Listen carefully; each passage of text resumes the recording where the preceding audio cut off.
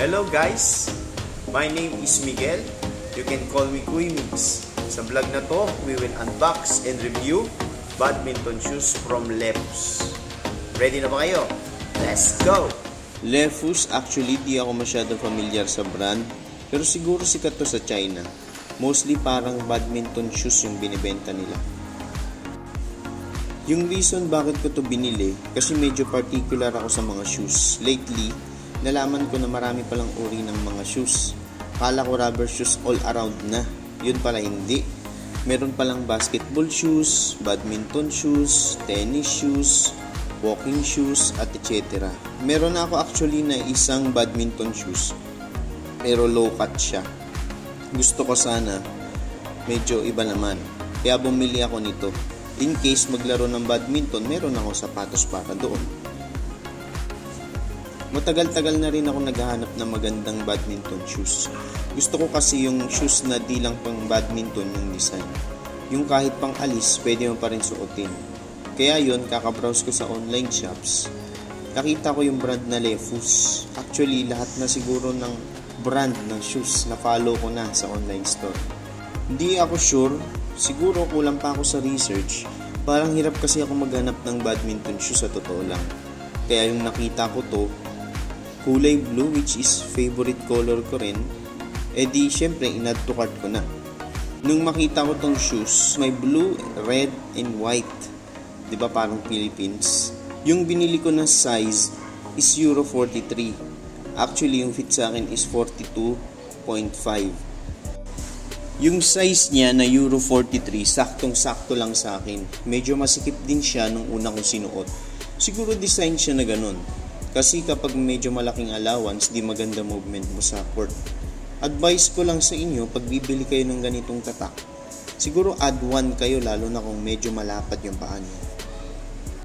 Flashy and glossy yung design niya. Natutuwa din ako sa combination ng kulay sa placement ng design, tsaka sa dominant na blue, which is my favorite color. Originally, around 1,400 pesos yung price niya, pero nabili ko lang siya around 1,200 pesos. Rate ko siya siguro sa akin ng 8.2 over 10. Siguro dahil medyo malapad yung paa ko, medyo masikip lang talaga to sa akin. Mas komportable siguro ako kung nag-add 1 ako ng size. May feeling din ako na parang elevated kaunti yung bandang likod niya, parang nakatakong. Pero siguro part ng design yun, lalo na kapag naglalaro na. Kasi pag tumatalon ako, absorb naman niya yung impact. Pero okay lang din naman sa akin actually yung medyo masikip.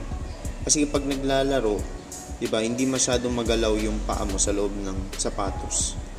Hindi extremely magaan ito, pero sakto lang yung gaan, which is good para sa badminton. Para sa akin, I will rate it as 8 over 10. Di ako fan masyado ng flashy color, pero nagagandahan ako sa overall design niya medyo di lang malinis yung tatak niya na sports. 9 over 10. Di typical yung design niya as badminton shoes. Natuwa ako sa kanya kasi medyo mukha siyang basketball shoes. Kasi normally, mag-search ka ng badminton shoes, may pagkakapare-pareho talaga yung style nila. Pero ito medyo unique. Sa kanyang durability, 8.6 over 10. Base lang naman to sa paggamit ko sa kanya ng ilang araw wala naman siyang issue at tingin ko tatagal din siya. Kung pagbabasihan yung kanyang presyo, base sa kanyang features and design, 8.5 over 10. Overall satisfaction is 8.6. Yung pros niya, pwede mo siyang gamitin hindi lang pang badminton. Actually, nagamit ko rin siya ng aerobics, pwede rin siyang pang volleyball at iba pang related sports kakaiba din yung design niya para sa akin. Magagamit mo rin siya hindi lang sa sports kundi pang-alis din. Sa cons niya, mahirap lang sigurong bagayan kasi medyo sporty look siya. Plus, flashy yung colors niya. Napansin ko lang din kapag medyo basa yung court, madulas. Siguro lahat naman ng shoes, no, madulas kapag basa yung tiles o yung sahig. Uh, ingat na lang siguro kapag pawis ka na, syempre magdala ng towel Ayun nga, di ba napansin nyo sa ating unboxing, wala siyang box na kasama. So, hindi masyadong secured yung shoes. Yun, merong possibility na baka ma-damage yung shoes natin sa delivery. Yun ang ah, risk. Pero, thankfully, wala namang gas-gas yung sa akin at maayos naman siya. Okay naman tong shoes sa akin. Siguro I will make part 2 na lang no para makita natin yung quality at performance niya in long period of time.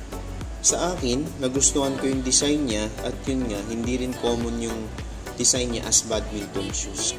Yan, napansin nyo sa channel ko, no, iba-iba yung mga brand ng shoes na ang nire-review natin. Ginagawa ko talaga yun. To compare different brands, different shoes, different features, di ba? Para makatulong din sa inyo, lalo na kung naghahanap kayo ng mga sapatos na pwedeng gamitin no, in different areas such as yun nga, basketball, badminton, casual shoes, and etc. Yan, maraming salamat sa panunood muli ng ating video. Kung nagustuhan nyo ang video, pwede rin kayo mag-like at mag-subscribe sa ating channel. And you can also share it to your friends. At para sa ibang mga review, stay tuned. And thank you. God bless.